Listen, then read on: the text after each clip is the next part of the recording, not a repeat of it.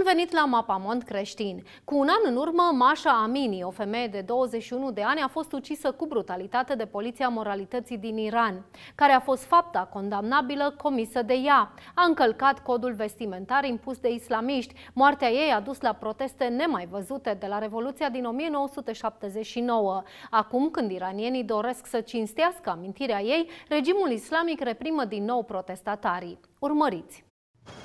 Cu ajutorul tehnologiei chineze de recunoaștere facială, regimul iranian a arestat mai bine de 22.000 de oameni și a ucis peste 630 protestatari care au participat la demonstrațiile care au început să aibă loc după moartea lui Masha Amini cu un an în urmă. La prima aniversare a uciderii ei vedem deja creșterea reprimării.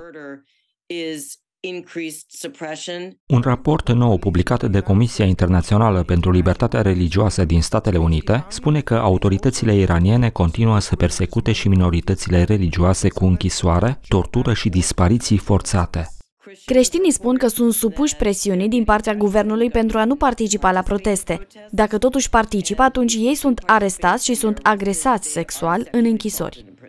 În septembrie anul trecut, așa numita poliție a moralității din Iran a ucis-o cu brutalitate pe Masha Amini, o femeie de 21 de ani, deoarece se spune că hijabul ei nu îi acoperea în totalitate părul. Uciderea ei a dus la cel mai lung șir de proteste din țară de la Revoluția Islamică din 1979. Mitra Jashni, o activistă iraniană, a spus echipei de știri CBN că moartea lui Amini continuă să nu dea pace regimului din Teheran.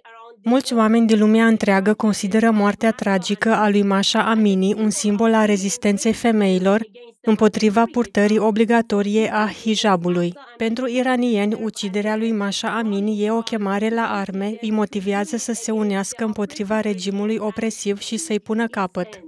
Președintele Iranului, Ebrahim Raisi, a spus echipei de știri CBN că nu are regrete privind măsurile pe care le ia guvernul față de cei care continuă să protesteze împotriva uciderii lui Amini. Nu mă surprinde că nu au regrete. Raisi e un obsedat și un ucigaș în masă. Cu câteva săptămâni în urmă a ucis mii de prizonieri politici, apoi a comandat profiterol pentru a celebra.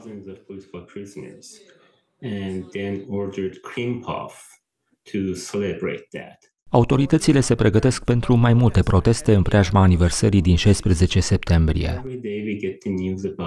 În fiecare zi primim vești legate de oameni arestați, iar asta ne spune că regimul se teme și își pregătește forțele.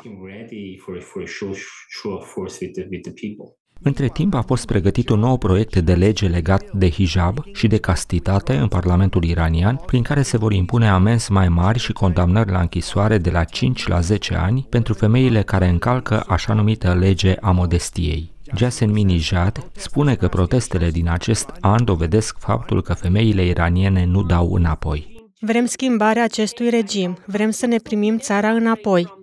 Nu ne temem de o nouă conducere, însă aceasta nu e nouă deoarece a ajuns la putere cu 40 de ani în urmă. Alpha, Omega.